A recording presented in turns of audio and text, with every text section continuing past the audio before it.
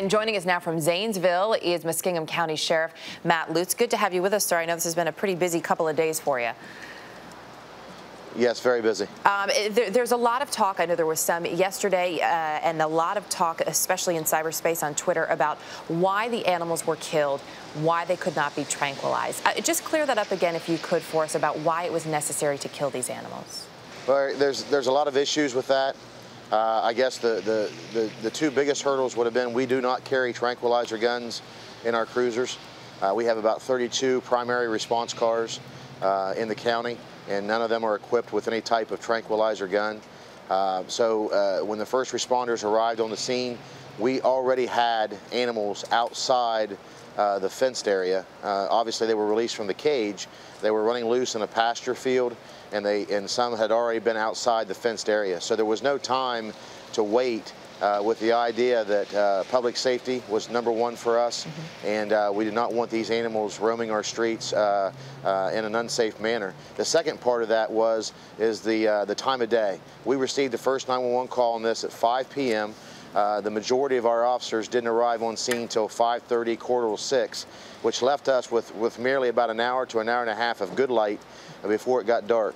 Uh, there were so many animals uh, running at large that we just, uh, I, I made the decision that we were not going to have wild animals running loose on our streets. Mm -hmm. there was no way of telling which animals would lay down, which animals would run all night, uh, where these animals would end up, and, uh, and that's why we made that decision.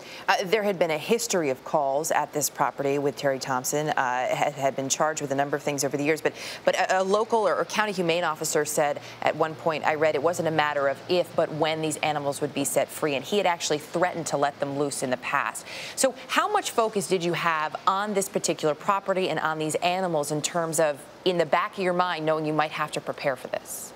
Well, uh, I guess it's been in the back of my mind for a long time. I, have been in law enforcement in this county for almost 23 years. Uh, I've known Terry. Um, Terry um, was the type of guy that would, I guess, I, have uh, coined him as somebody that would push the envelope a little bit. Terry wasn't afraid to say things like that about uh, threatening to let him loose.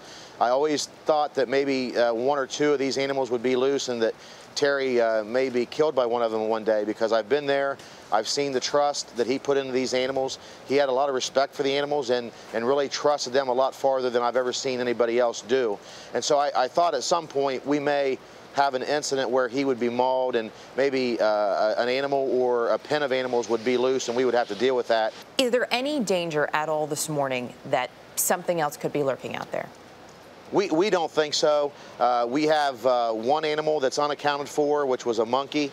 Um, there is a, uh, a possibility that he would be loose, but we have had no report reported sightings of, of anything and it's a high probability that he could have been eaten by one of the big cats. We did have, uh, out of the 49 animals that are dead, 48 of them were shot by law enforcement. Uh, the one animal that is uh, left would be a, a, monkey that we believe was killed by one of the big cats, and this other monkey could have been in the same area of where that monkey was killed. So it is highly probable that he could have been eaten by one of the cats. Sheriff Matt Lutz, appreciate your time this morning, sir. Thank you.